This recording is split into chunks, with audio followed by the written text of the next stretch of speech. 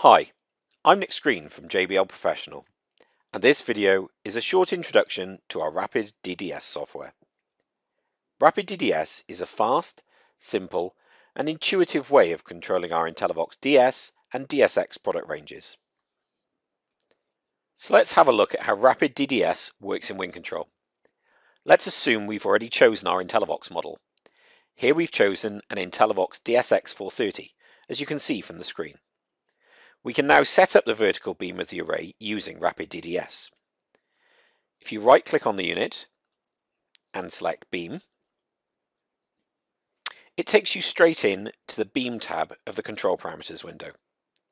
The screen you now see is the RapidDDS interface.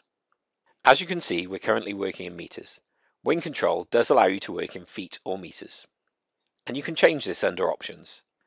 So if we go to options, main options, and under the general tab, we can select our units, either meters or feet. So I'll select feet, press OK. We can now see the display has changed and we're displaying the values in feet. I'm more used to working in meters, so if we go back to options, main options, and select meters, press OK, the display now changes back to meters. As you can see, the window is split up into two elements. On the top we have the geometry pane. This shows a vertical cross-section of your setup. You can adjust your setup by moving the sliders you see here. We'll look at this in more detail in a moment. The bottom pane is the results pane, where you can see a vertical cross-section of your beam. The IntelliVox can be seen on the left, represented by the white line, and the black line is the ear level of the audience. You can also see the SPL distribution by clicking on the SPL button. But we'll stay on the beam view for now. So let's look at how we might set up this unit. First of all, we need to choose where we want the coverage to start. We can do that by using this slider here, which has the legend Adapt Start of Audience. What we're doing by changing this slider is choosing how far from the array that we want our coverage to start. It's important to note that as I move the slider, you can see the beam shape changing below. This is recalling settings from a huge database of settings that we've created for Rapid DDS. You can also enter a value by right-clicking on the slider. So I'm going to say here that we want our coverage to start 3 meters from the array. So this will be the position of my first listener. So I'll enter 3 meters and press apply. I can then choose where I want my coverage to end. This will be my furthest listener. So in this case, I will say that I want my coverage to end at 38 meters from the array. Again, you can see the beam change as I move this slider. So I'll move it back to 38 meters. We then need to choose the ear level. This is how high our audience's ears are from the floor. It's worth noting that the solid black line in the geometry window represents the floor in the geometry view. We can click on one of the icons on the left here to select different audience heights. So we can click for a standing audience at 1.7 meters, a seated audience at 1.2 meters, or a kneeling audience at 0.7 meters or we can use the slider to move to a value of our choice. Here I'm going to choose 1.5 meters. 1.5 meters is a good height when your audience sometimes stands and sometimes sits, so that's why I'm going to choose it here. Rapid DDS can then suggest a mounting height for us.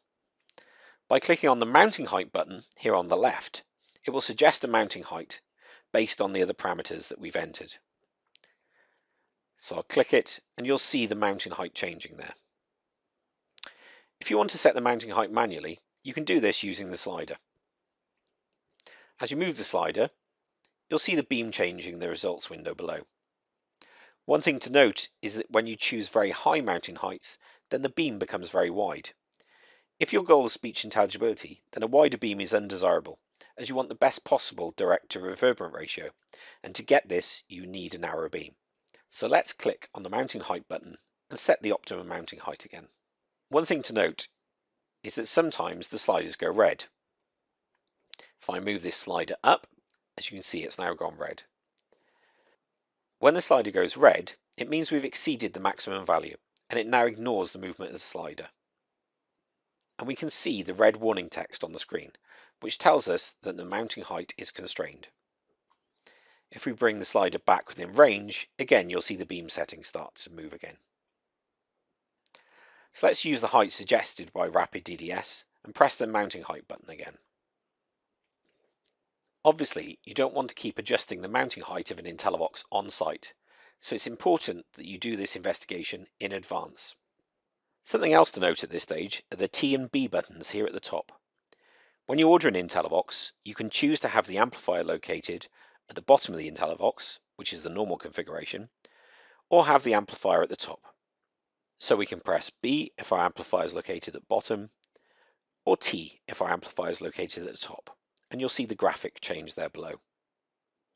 One important thing to note is that this doesn't affect the acoustic center, which is always the lowest drive of the array. When you take delivery of an IntelliVox, there is a sticker on the grill showing where the acoustic center is.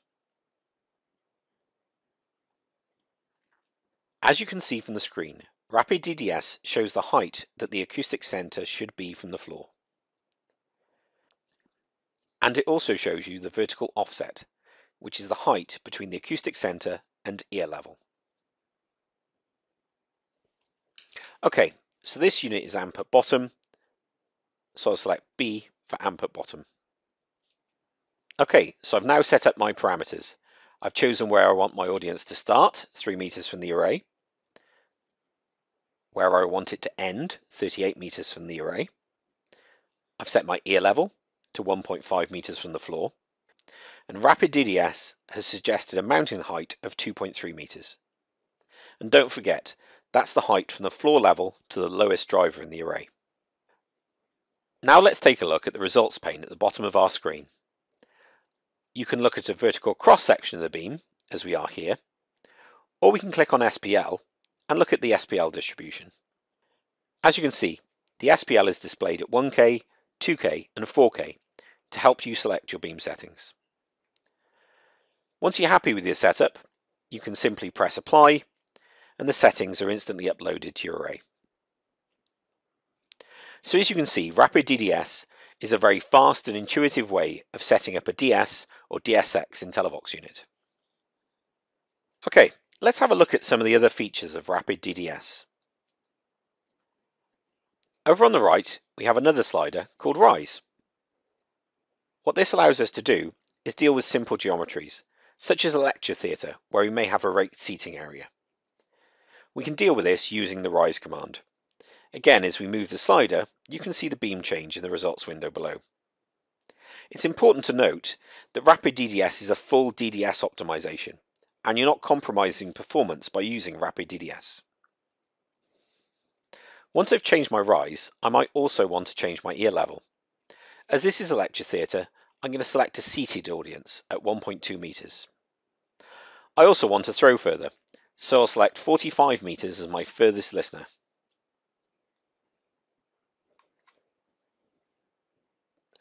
I can then ask Rapid DDS to suggest a mounting height for me. Of course, this is something you should investigate before you mount the unit. Once the loudspeaker is installed at the correct height, I can do one final check of the beam result in the window below and simply press apply to upload the settings to my unit. And I'm now ready to listen to the result and start tuning my system. As you can see, Rapid DDS allows you to control DDS optimized arrays in real time and makes it very easy to set up the arrays in the field. You don't have to be online to make full use of Rapid DDS. There are also some features that you can use offline. So, if we want to work offline, we can go to Options, Communication Options, tick the offline box here, and press OK. We're now working offline, as you can see from the screen. As you can see, I have an IntelliVox DSX380 in my offline setup. So let's work with this array. Again, we can right click on the unit, select Beam, to launch Rapid DDS. This feature is very useful for sound system designers and consultants, as you can use Rapid DDS to generate directivity files for use in EASE, CATT-Acoustic or Odeon. As you can see, the process is the same as when we're working online. So I can select where I want my coverage to start.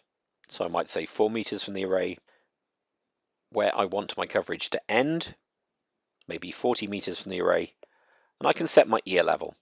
So here I'm going to select a seated audience at 1.2 meters. Again, I can then ask Rapid DDS to select a mounting height for me.